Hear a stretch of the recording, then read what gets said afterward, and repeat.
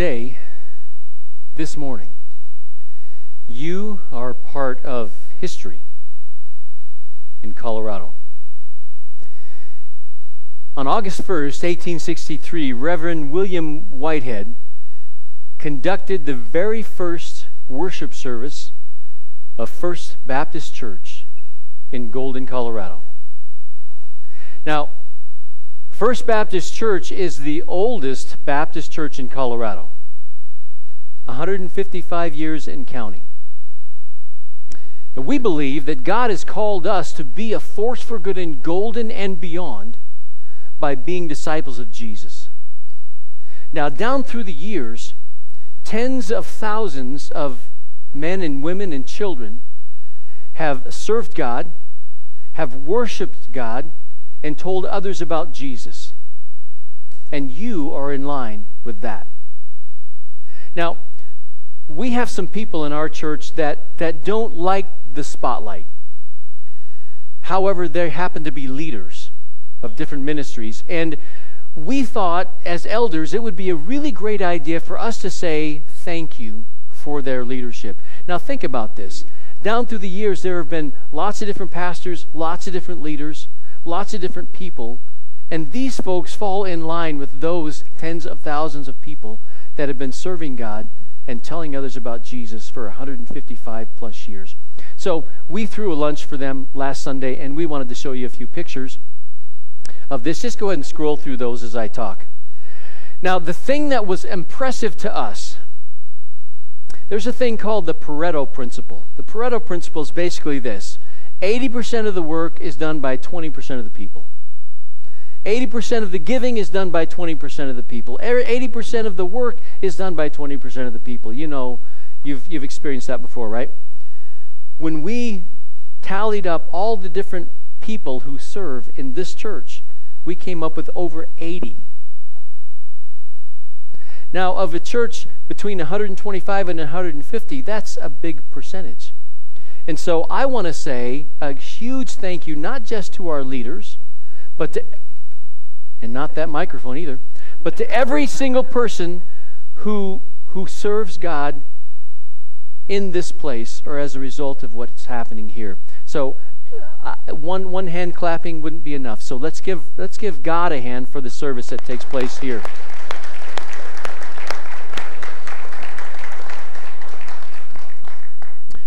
I wonder, would it ever have entered into Reverend Whitehead's mind? Or the mind of the Barbers, the Lakes, the Huntsmen, the Snodgrass family, or the, Cost, the, the Costo family to think that 155 years later, we would be here worshiping God together. We say it like it's a novel thing that God has called us to be a force for good in golden and beyond by being disciples of Jesus. Now, now the way we have phrased it is a little novel to us, but I can tell you from the very beginning, the church saw itself as the gospel center of Golden. The church has always said we need to be sharing Jesus' love with other people. And so, down through the years, that is what this church has been about.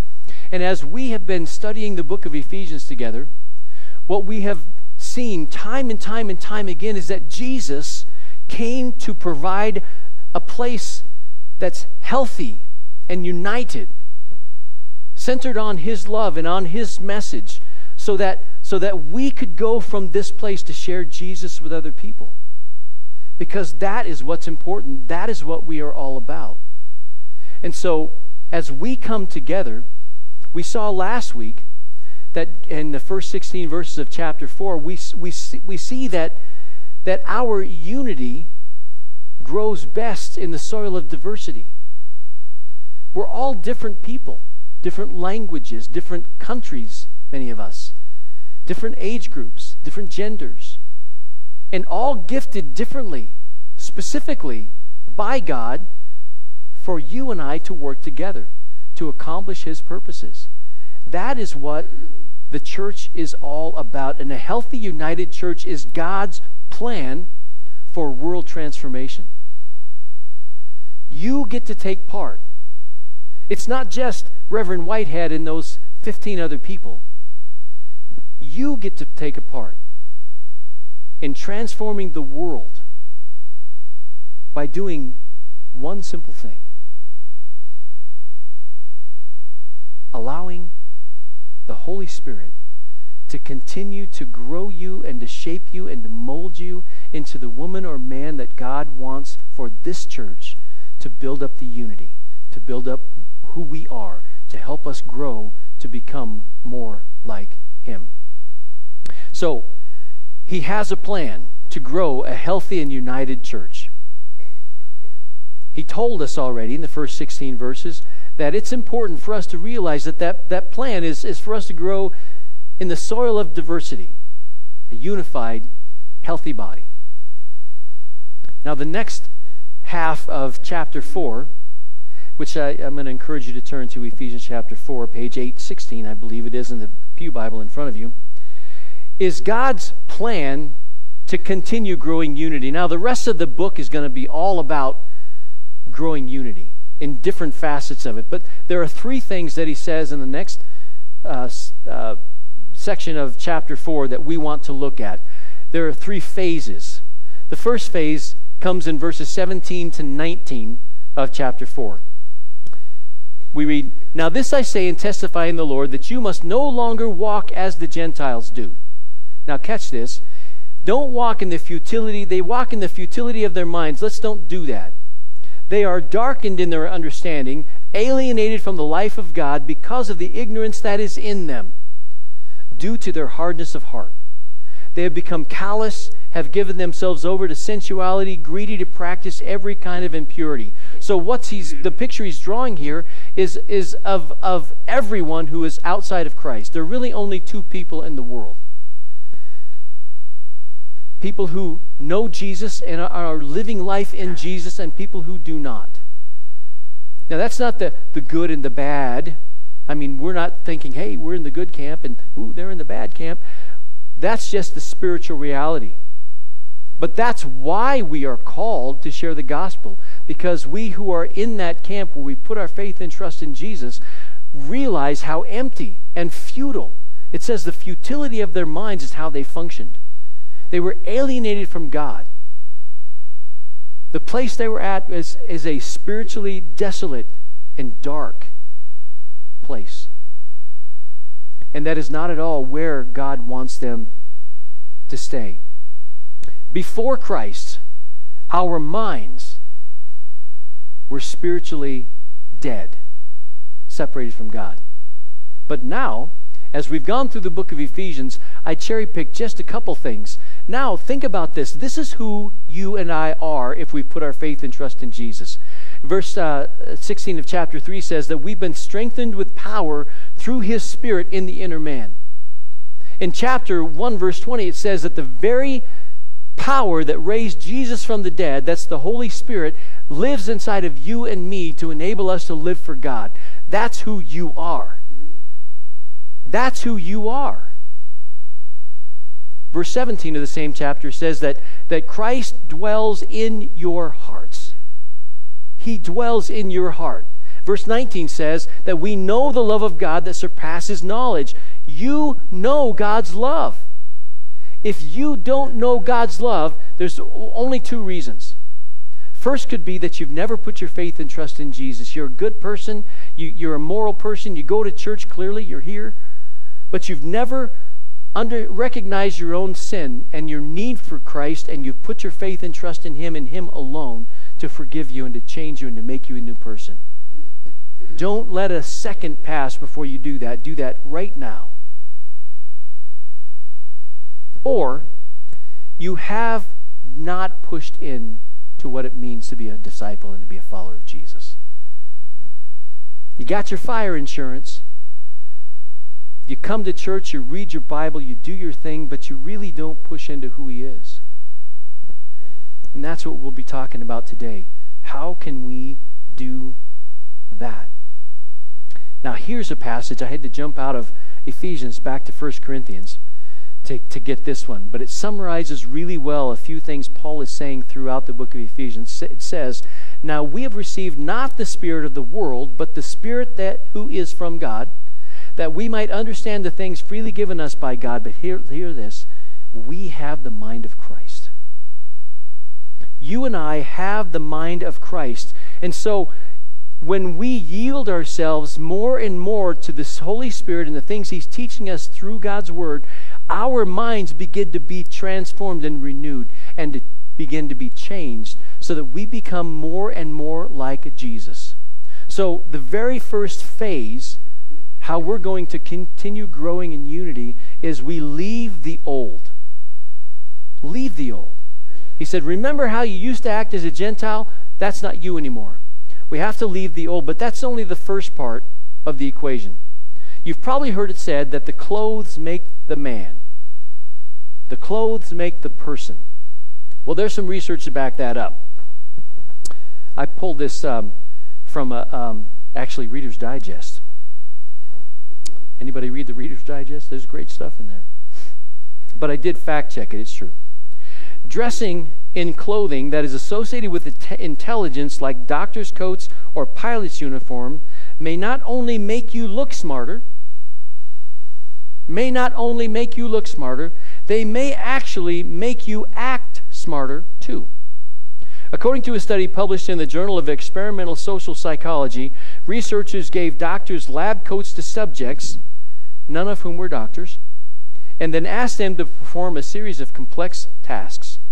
Those in white coats made significantly fewer mistakes than the people in street clothes. So you want to look smart, get yourself a coat, a lab coat, and wear it. And when somebody asks you to say, I'm a doctor. Anyway, no, don't do that. Okay.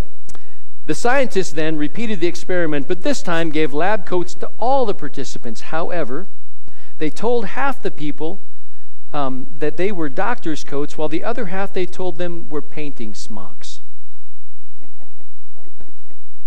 Again, the people in the doctor's coats performed better on the tests, which shows that it's not just what you wear, but also what you think of what you wear that matters. Now, the clothes that God puts on us do not simply make us feel smarter or think better they completely remake us into the image of Jesus. So, phase two, we've left the old in phase one, and we are putting on the new in phase two. Look at verse 20. Verse 20 says, But this is not the way that you learned Christ. Remember, he's contrasting with the way of, of our life when, when we were away from Jesus and our minds were darkened and we were far from Him. That's not how we learn Christ. How an unbeliever lives and how a believer lives should be different. There should be a stark contrast. Now, the interesting thing as he, we get into this, this section is it's not about facts and figures that we're going to learn here that's going to make the difference in us. He's not about to list off all these different things that you're supposed to know and even things that you're supposed to do. He says that what's going to make a difference is that you learned Christ. Remember, verse 20 says, But that's not the way you learned Christ. We learned a person. Why is that important? Because verse 21 says that truth is in Jesus. The truth is uh, of being a disciple of Jesus is that you know Jesus. It's Jesus' image that we are conformed to. So, how will we know if we're being conformed to the image of Christ if we are not familiar with who Jesus is? Romans 8, Paul says this For those he foreknew, he also predestined to be conformed to the image of Jesus. You're not Jesus' disciple because you're able to spout a bunch of, of factoids from the Bible or you're able to cite a verse or two. Jesus' disciples know Jesus because the better and the better we know Jesus, the more like Jesus we will become. And so, the next couple of verses, we're going to we're going to see three lessons that will teach us how to learn Jesus. Help us grow to become more like Jesus. Verse 22 says, Put off your old self, which belongs to your former manner of life and is corrupt through deceitful desires. The lusts the old us gave into are deceitful. He calls them deceitful desires. Why are they deceitful? Because they promise things they cannot deliver. We're tempted to go with someone outside of the bonds of our marriage because we think it's going to make us feel better. We think it's going to fulfill us. And it will do nothing but destroy. Had a professor in seminary. You might want to cover the kids' ears, I'll say this one. Had a professor in seminary who walked in to class one day after another big name pastor or evangelist fell to moral moral failure. He looked at us and said, uh, "Gentlemen, ladies, there's not an orgasm out there that's worth it. Not one."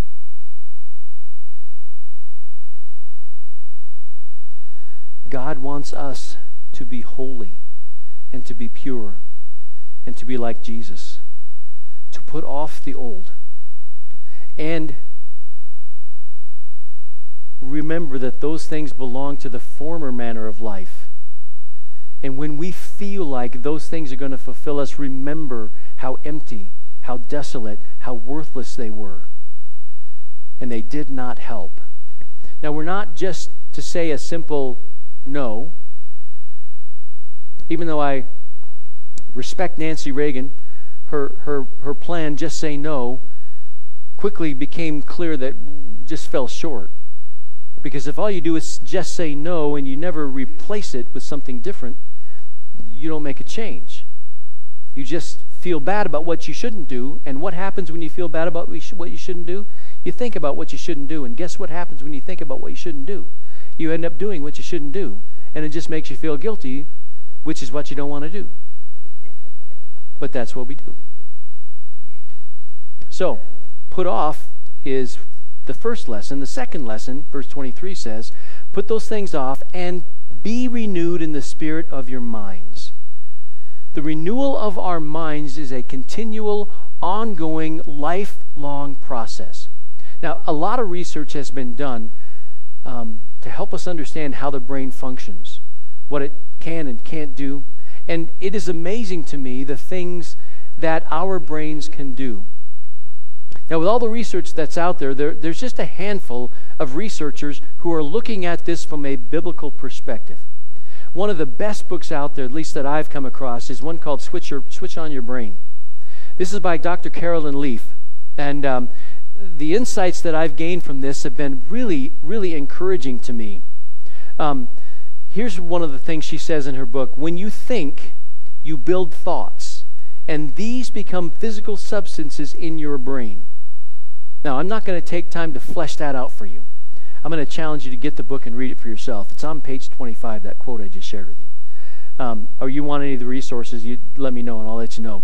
But I think that there's some really incredible things that, that in the way God designed our brains, that if we will look at the scriptures, we will see that science is finally catching up. Proverbs 23 7 says, for as he thinks within himself, so is he. Remember, when you think, you build thoughts, and these become physical substances in your brain. And they actually change how you behave.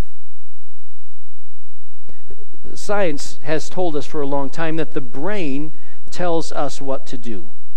You are predisposed toward this behavior because you have this thing in your brain well, the, the, the interesting thing that science is actually discovering is your brain doesn't tell you what to do. Your mind tells you what to do, and your mind is made up of what you think. So what you think changes what happens in your brain and changes how you behave. So Paul says, put off the old, and in its place be renewed in your mind. Let God change you into who he wants you to be. So here's the equation good thinking leads to good choices, which lead to healthy thoughts. The opposite is true as well. Toxic thinking leads to toxic choices, which lead to toxic thoughts. And the continuous cycle did not begin with your hard wiring, it began with your thinking. Do you know who you are? Help me out here. What do you know is true of you because you have a relationship with Jesus? What's true of you? You're forgiven. You're his child. You, when, you, when you die, you'll go home to be with him. What else do you know? Loved and forgiven. What else?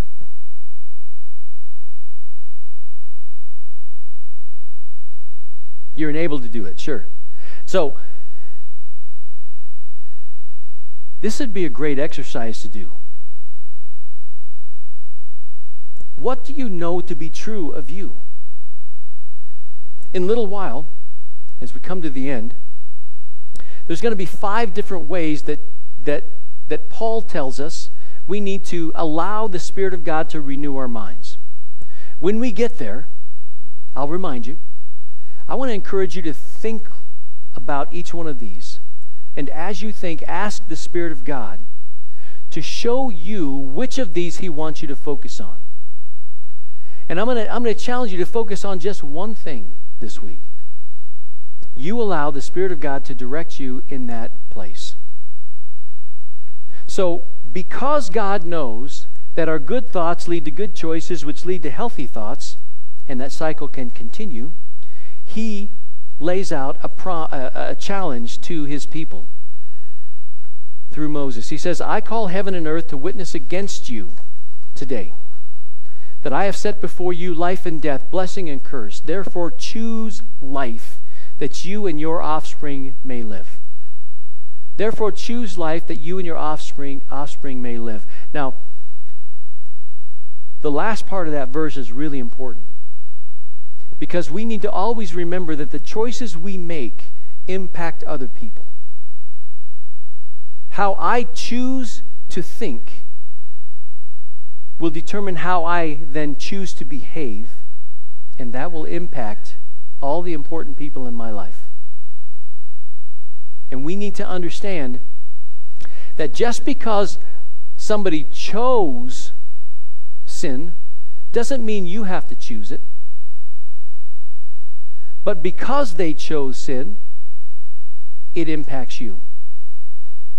So if you grew up in a family and one of your parents, maybe both were alcoholics, you may have a predisposition toward alcohol, and some people should never have the first drink. If that's you, take that to heart. But some would say, because you have that predisposition, you can't help yourself. See, this is where this renewing your mind and thinking will make a difference because just because someone else did it doesn't mean you have to do it. You can choose to say no. And when you choose to say no, you take, take a different path and you begin to rewrite the synapses in your brain to help you make better choices. And that is all straight from God's Word, where He tells us to be renewed in our minds. to be transformed by the renewing of our minds, Paul says in Romans 12, through God's Word.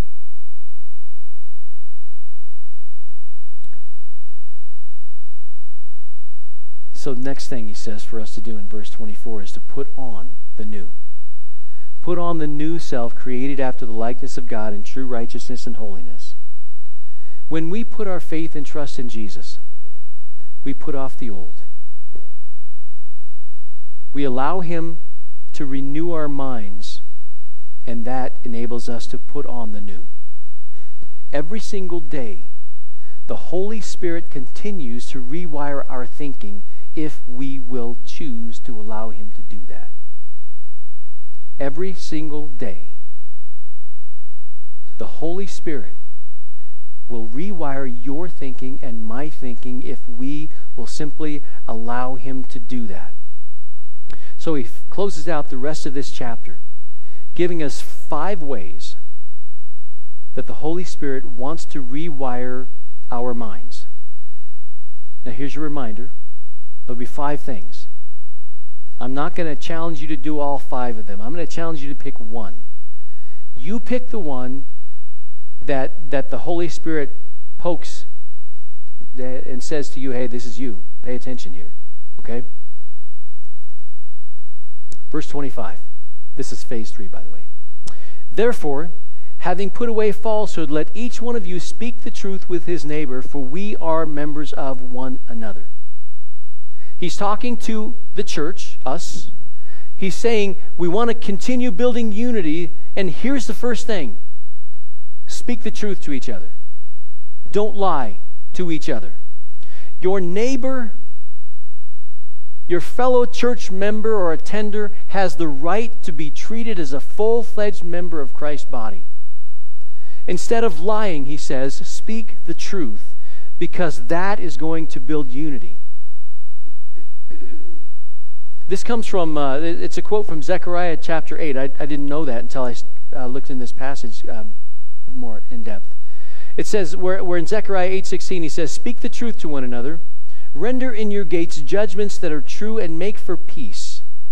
Judgments that are true and make for peace. Now, it's not simply good advice, there's a reason. The next part of this, of uh, Zechariah 8, says, Do not devise evil in your hearts against one another, and love no false oath, for all these things I hate, declares the Lord. God hates it when we lie, not just because it breaks a commandment and it's against his character. He hates it when we lie because it reveals our hearts toward the other person. Our heart is not toward unity. Our heart is toward maybe self preservation.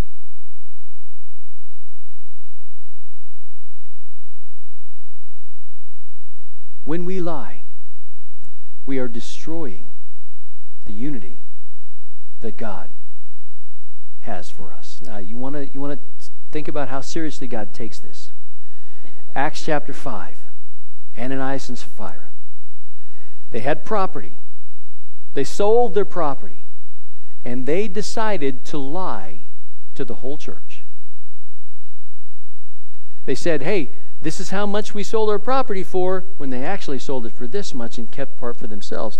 It, the passage goes on to say, look, it was, it was yours. You could do with it what you want. Why did you choose to lie? Lying introduces insecurity into the, into the body. Because you, when you discover it, you, you don't know who you can trust. So, Paul is getting very meddling, meddlesome here. I think his, his advice is simple tell the truth. Tell the truth. Now remember, truth in love. We don't want to run somebody over with our truth. Sometimes discretion, but never a lie. Second, be angry and do not sin. Do not let the sun go down in your anger and give no opportunity to the devil. Now, there are times when anger is the right response. When someone takes the life of an innocent baby, or someone commits some sort of injustice and you become aware of it, anger is very, very appropriate. But if we give full vent to our anger and we kill an abortion doctor, then we've crossed a line. when we become judge, jury, and executioner, then we've moved out of that righteous sort of anger into a, a violent sort of anger. So here's a good principle to live by. If somebody wrongs you, you do not have the right to wrong them back. You don't get a free shot. I like how the message says takes this phrase. It says, "Don't use your anger as fuel for revenge. Repay no no one evil for evil, but give thought to do what is honorable in the sight of all. If possible, so far as it depends on you, live peaceably with all. Beloved, never avenge yourselves, but leave it to the wrath of God, for it is written, Vengeance is mine, I will repay, says the Lord. It's a tough one. But he goes on in this verse and he says, When you cross the line, we open the door for the devil to move among us. So I, I, think a question we have to be honest with ourselves and ask is Am I simmering over something that someone did to me last week? Maybe it's a rolling boil. Maybe for some of us, it wasn't just something that happened last week, it's something that was done to us or against us months ago, years ago. When we let it sit on a low simmer or allow that rolling boil to continue, we are holding the door open for the enemy to come in to destroy the unity that Christ died for.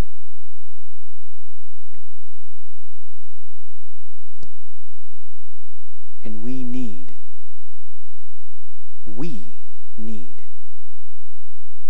to keep short accounts, to not allow the sun to go down while we're still angry. Now, a practicality is sometimes you can't get to somebody before the sun goes down. You, you, you don't have time. But you can drive a stake down and say, I'm going to deal with this. And you can let that person know. You can shoot a text, you can shoot an email, you can give them a call. And you can say, hey, we, we need to talk about this. Can we set an appointment? Can we do it?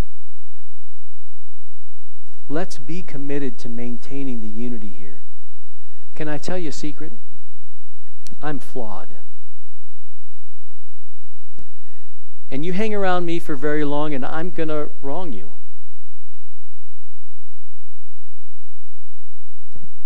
And when I do, please tell me.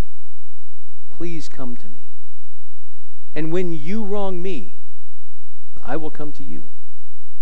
And we won't do it because you're better than me or I'm better than you. We'll do it because we love Jesus' church.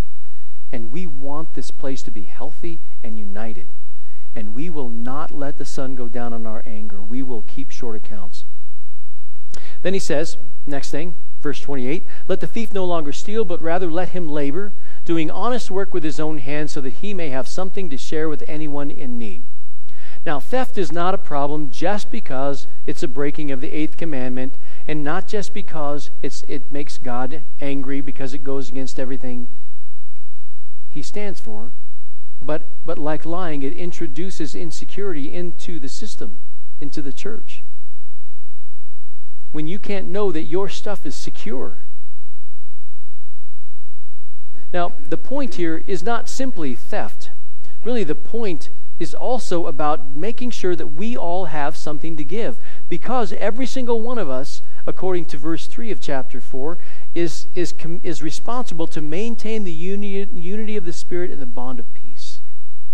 So what's he saying to us? Instead of, instead of stealing, work with your hands so that you can give. The principle for all of us is give to those who have a need. Instead of, instead of taking someone else's, ask God to provide for us and do the hard work to make that happen so that we can have something to give to someone else. Next. Let no corrupting talk come out of your mouths, but only such as is good for those for building up as it fits the occasion that it may give grace to those who hear and do not grieve the holy spirit of god by whom you were sealed for the day of redemption our words are meant to build up to edify not to destroy not to tear down the word unwholesome there refers to something that is decayed rotting and harmful our words are meant to build others up. First Thessalonians says it this way encourage one another and build each other up. When our when our kids were little, we came up with this I I don't say we, I won't blame Connie. I came up with this goofy little song and dance, and I would just go, encourage one another and build each other up. Encourage one another and build each other up. You'll never get that image out of your mind, but hopefully the words will stay there. Because that's what we're supposed to be about encouraging each other and building each other up. When we don't do that, when our words tear down, it says that we grieve, or you could translate the word distress, the Holy Spirit. Now, why would it bother the Holy Spirit?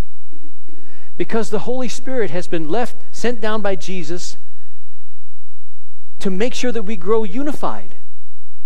And when we choose to do something that goes against that unification of, our, of his body, then we grieve, we, we hinder, we distress the work that he's doing. So we, we take it seriously and we say, you know what? We want to make sure that we, our words are giving birth to healthy things and unifying things. Now, the word grieve is also often used in the context of birth pains in childbirth. So, what's he saying? When we are grieving the Holy Spirit with our words, we are giving birth to destructive things that will grow and be nurtured in the church and keep us from being who we need to be. You want to be part of transforming the world? Take this one simple thing and let your words build up and edify. Last, let all bitterness and wrath and anger and clamor and slander be put away from you all, excuse me, along with all malice. Be kind to one another, tender-hearted, forgiving one another as God in Christ forgave you. Bitterness is hostility that we've nursed. It's a grudge that we have been holding on to, something that we will not let go, and it has poisoned us at the core. That's what bitterness does.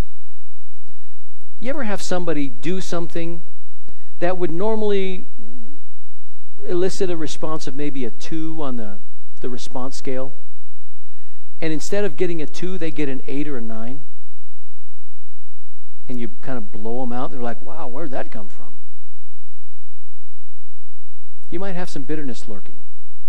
And the, the interesting thing is it doesn't even have to be that with the person that you that you came out at. It could just be there's something going on inside of you. We deal with bitterness so that we can maintain the unity in this church.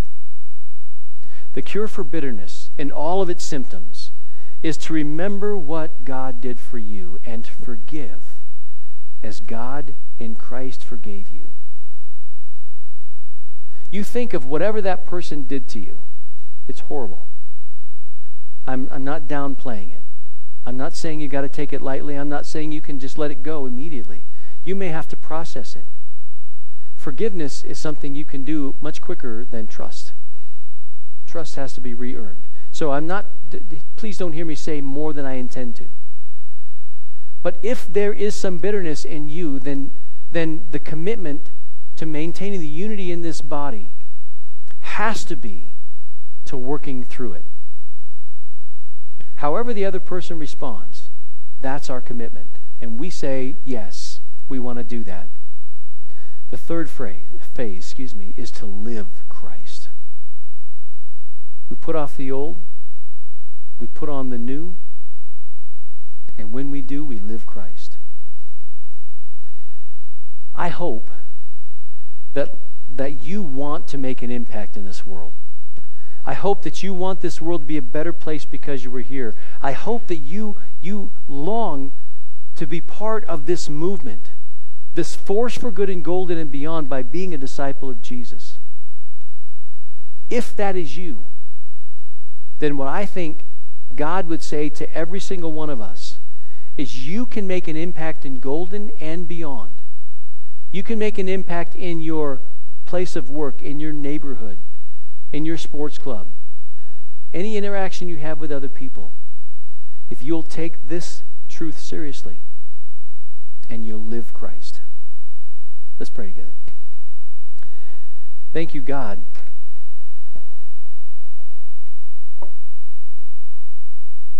We don't deserve to be known as one of your children.